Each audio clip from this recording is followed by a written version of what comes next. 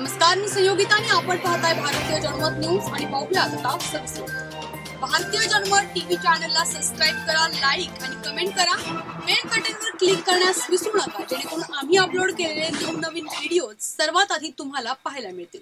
आता भारतीय जनमत टीव्ही चॅनल तुम्ही पाहू शकता फक्त एका क्लिकवर त्यासाठी बीजीएन टीव्ही ऍप डाउनलोड करा. आणि पाहूयात आता सविस्तर मुख्यमंत्री आज कोल्हापुरातील पूरस्थितीची पाहणी करणार आहेत. कोल्हापूरचे पालकमंत्री सतेज पाटील ग्रामविकास मंत्री हसन मुश्रीफ खासदार धैर्यशील माने यांनी कोल्हापुरात विमानतळावर मुख्यमंत्र्यांचे स्वागत केले. मुख्यमंत्री कालच कोल्हापूरला जाणार होते. मात्र हवामान विभागाने कोल्हापूरला पावसाचा रेड अलर्ट दिला होता. त्यामुळे हा दौरा पुढे ढकलण्यात आला. दरम्यान उद्धव ठाकरे पहिल्यांदाच कोल्हापूर जिल्ह्यातील शिरोळ तालुक्यातील नरसिंहवाडी या गावाची पाहणी करणार आहेत. नरसिंहवाडी हे गाव आठवड्याभरापासून पाण्याखाली आहे. पाऊस बंद झाला असला तरी पाणी पातळी अवघी दोन टक्क्यांनी कमी झाली आहे. गावातील सर्व लोकांचे सुरक्षित ठिकाणी स्थलांतर केले आहे. मात्र जनावरांचा चारा लाइट पाण्याचा प्रश्न सतत भेडसावत आहे. पाणी काही प्रमाणात ओसरलं असलं तरी कमडे कमरे एवढ्या पाण्यातून लोक घरापर्यंत पोहोचत आहेत.